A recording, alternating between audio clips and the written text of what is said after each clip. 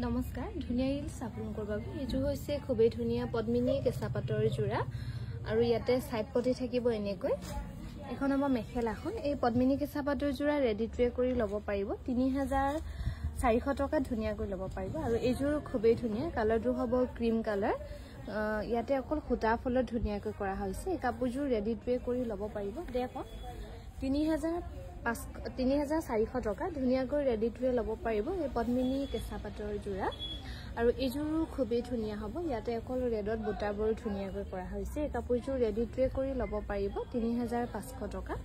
কালাৰটো হ'ব golden colour তিনি হাজাৰ পাঁচশ টকা। ধুনীয়াকৈ ৰেডি টুৱে ল'ব পাৰিব।